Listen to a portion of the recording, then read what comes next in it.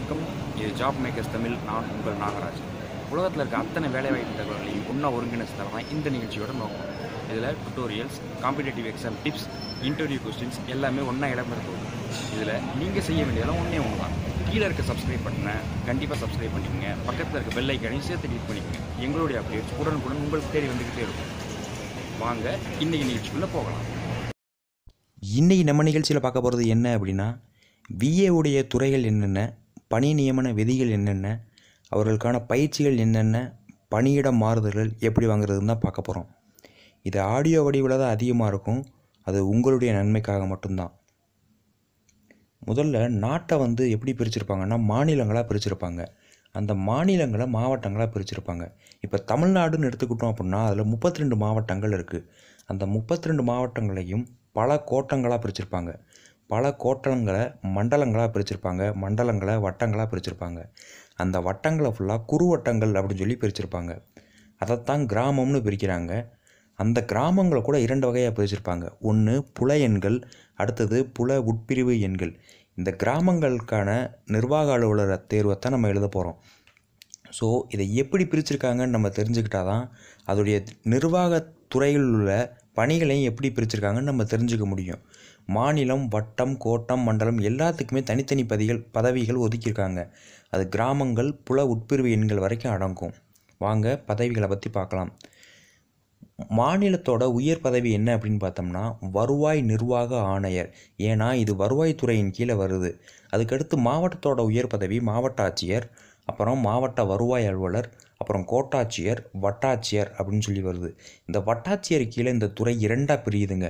ஒன்று நேரடி மக்கள் தொடர்பில் இன்னொன்று அலுவலக பணிகள் அப்படின்னு சொல்லி.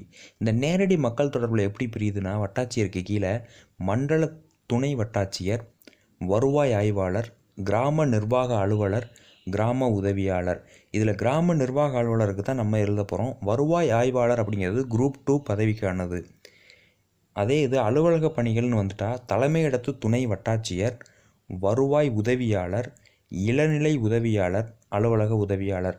இதில் இளநிலை உதவியாளர் குரூப் ஃபோர் பணிக்கும் வருவாய் உதவியாளர் குரூப் டூ ஏ பணிக்கும் நியமிச்சிருக்காங்க. இவங்களுடைய சம்பள விகிதம் அப்படின்னு பார்த்தா ஐயாயிரத்தி இரநூறு முதல் இருபதாயிரத்தி இரநூறு. கிரேட் பே ரெண்டாயிரத்தி ஐநூறு.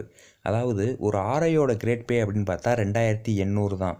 இதே இது இவங்களுடைய படிநிலைகள் எப்படி இருக்குன்னு பார்த்தா இப்போ நம்ம விஏஓவாக ஜாயின் பண்ணால் ஆறு வருஷத்தில் ஆரை ஆயிடலாம் முதல்ல பத்து வருஷமாக இருந்ததை இப்போ ஆறு வருஷம் ஆக்கியிருக்காங்க.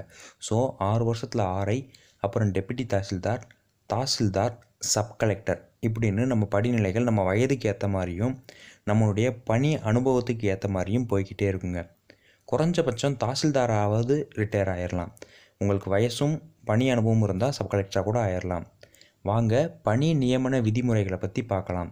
இதில் வெறும் தலைப்புகள் மட்டும்தான் கொடுத்துருப்போம். என்னுடைய ஆடியோவை நீங்கள் மறக்காமல் கேட்டு புரிஞ்சுக்குங்க. இதுக்கப்புறம் வர கேள்விகளுக்கும் நீங்களே பதில் சொல்ல முயற்சி பண்ணுங்கள் பணி நியமன விதிகள்.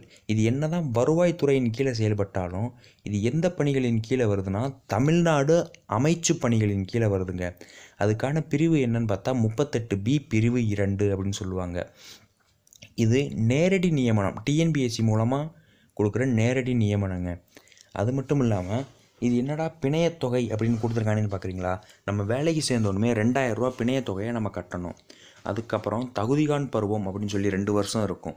இதுக்கு பயிற்சிகள் அப்படின்னு பார்த்தா ரெண்டு பயிற்சிகள் இருக்குது ஒன்று நில அளவை பயிற்சி அது ஒரு மாதமும் கிராம நிர்வாக அலுவலர் பயிற்சி நாற்பத்தி ரெண்டு நாட்கள் அதாவது ஆறு வாரங்களும் இருக்கும்.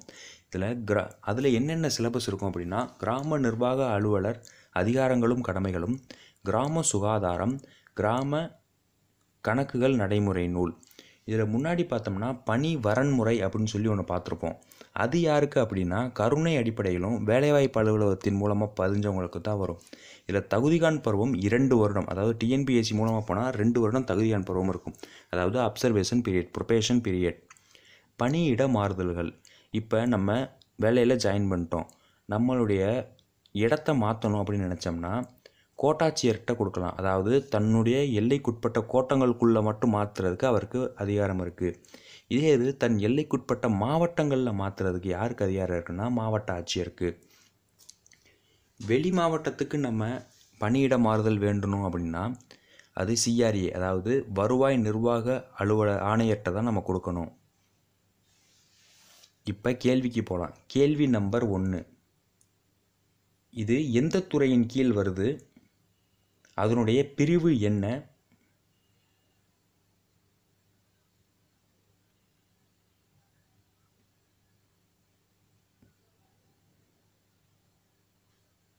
கேள்வி நம்பர் இரண்டு. மாவட்ட ஆட்சியர் எதற்கான பணி இடமாறுதல்களை வழங்க முடியும்? கேள்வி நம்பர் மூன்று. கிராம நிர்வாக பயிற்சி எத்தனை நாட்கள்?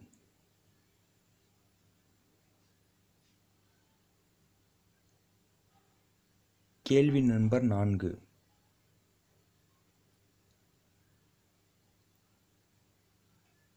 தகுதிகான் பருவம் எத்தனை ஆண்டுகள்?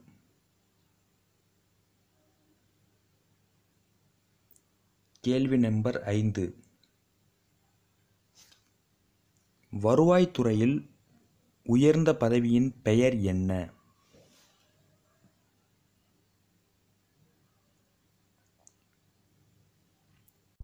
இந்த ஐந்து கேள்விகளுக்குமான விடைகள் உங்களுக்கு தெரிஞ்சுன்னா வாழ்த்துக்கள். ஒருவேளை தெரியலனா கவலைப்படாதீங்க. திருப்பி ஒரு முறை இந்த வீடியோவை பார்த்து அந்த விடைகள் என்னென்ன அப்படிங்கிறத கண்டிப்பாக தெரிஞ்சுக்குங்க. அடுத்த வீடியோவில் சந்திக்கலாம். நன்றி.